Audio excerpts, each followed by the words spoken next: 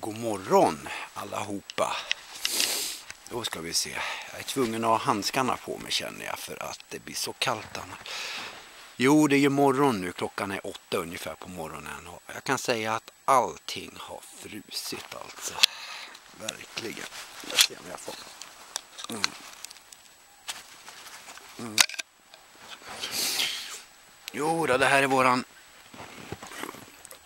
tömde ju camelpacken igår för att locket frös fast som fan.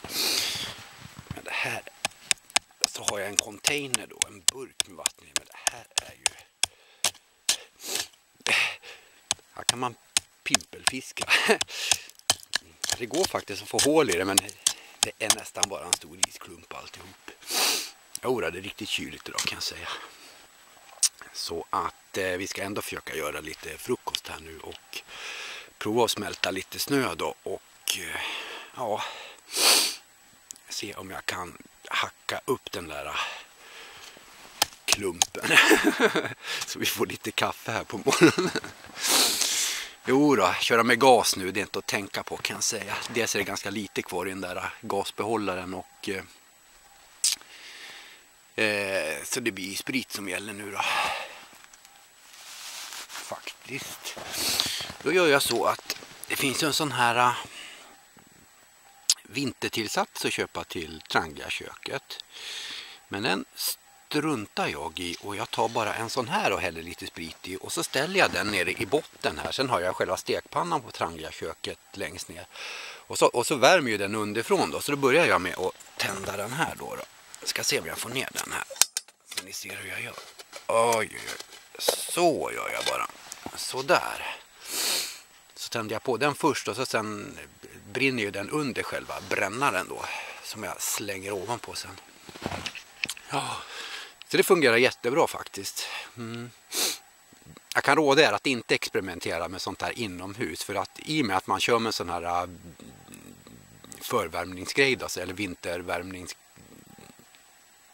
kopp så att säga det medför att ofta att själva rödspriten kokar in där och då kan det bli ganska ansenliga lågor kan jag säga. Så vill ni testa det här, gör det utomhus i sådana fall. Faktiskt. Ja, nej, jag gjorde själv det här inomhus.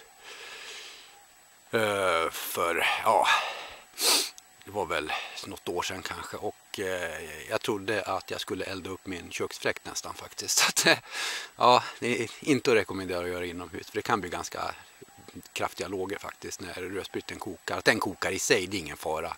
Men det är viktigt att man är ut, utomhus så att säga. Så det häller man bara i en liten mängd rödsprit i den där koppen. Det, det ska brinna i någon minut, inte mer alltså. Och då blir det då går det mycket fortare att få upp värmen i själva brännaren då. För den kan vara ganska seg och seg så när det är så pass kyligt innan den drar igång ordentligt. Ja, nej, annars är det som vanligt här. Vi är ju...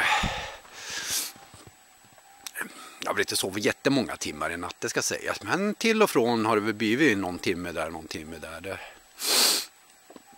Faktiskt, men det är ganska typiskt också när man sover på annan ort så kan det också bli samma fenomen för mig att man kan ha lite svårt att sova.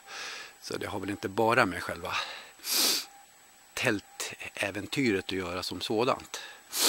Ja, det har inte varit farligt kallt i alla fall tycker jag in i tältet. Det har känts lite småkyligt eh, till och från men då har man bara slängt över sig en extra filt över sovsäcken så har det blivit bra sen. Så det har fungerat bra faktiskt. Men återigen, allting här har ju frysit alltså. Det, ja, det är sådär. Ja, alltså vi har ju tillbringat en ganska lång stund här borta vid Lavun igår då. Så här ser det ut här. Mm. Jag satte faktiskt en folieskärm eh, bakom eldspisen då. Så att eh, ja, det gick ganska bra. Den där är gjord av plast. Det kommer från en sån här fryskasse från Lidl eller något i den stilen. Den här.